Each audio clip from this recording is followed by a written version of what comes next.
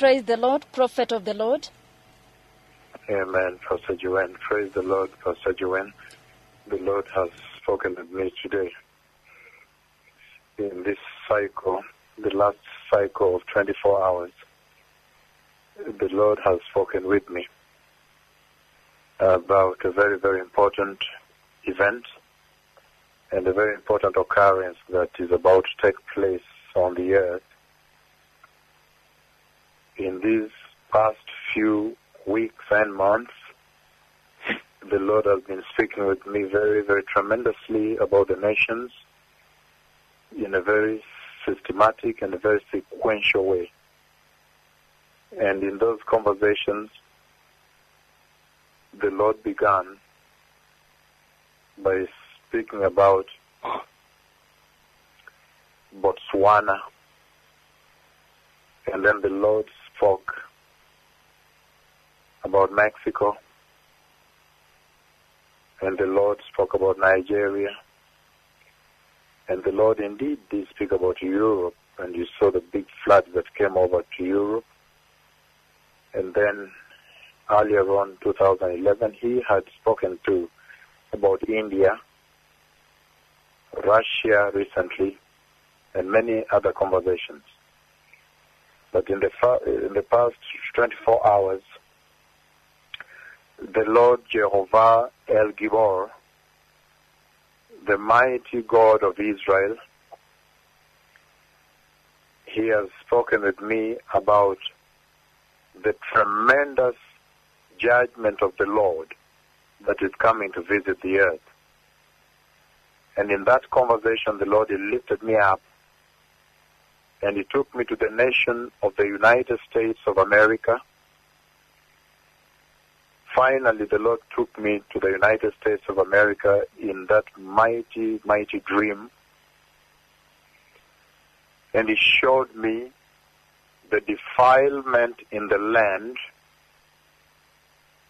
tremendous defilement in the land of the United States of America. Key among them, he showed me evil worship, devil worship. And the Lord said they belong to a secret club. I, so I saw a lot of people that belong to this devil worship club. So I think it's the Freemason Club. And the Lord also showed me how they have key positions in leadership, in places, in business, and all over. And then the Lord showed me also other ills in the land, the wickedness in the land.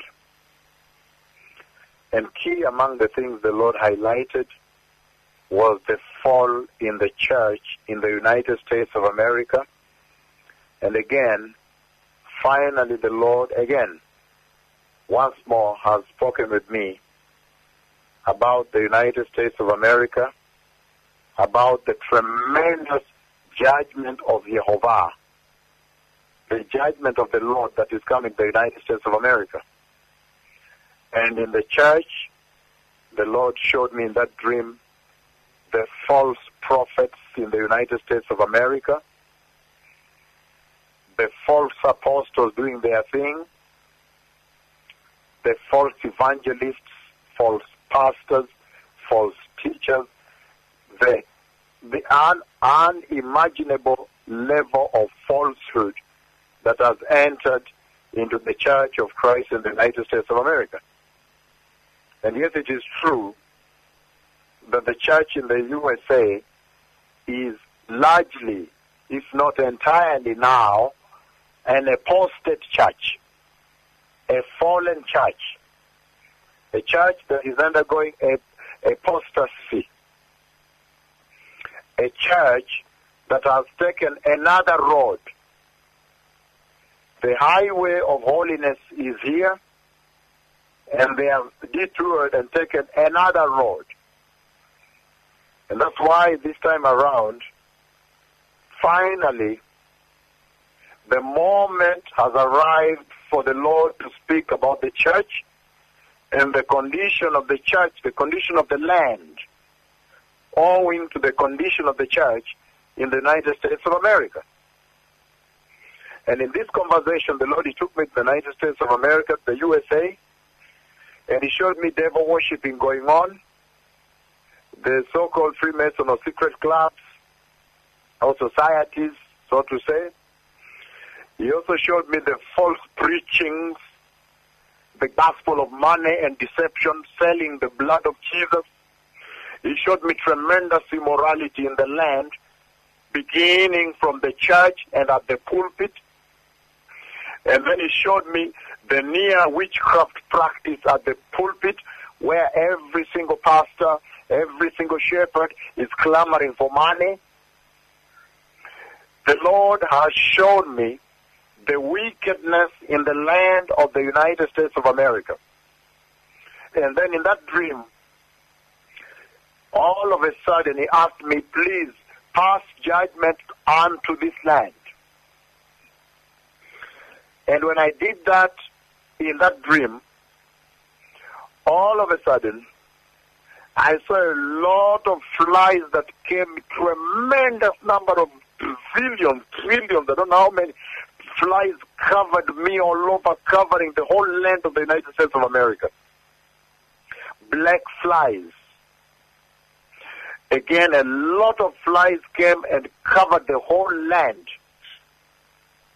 And for those of you who know how the Lord speaks, that is one of the ways in which the Lord expresses and demonstrates his judgment that is coming to a place.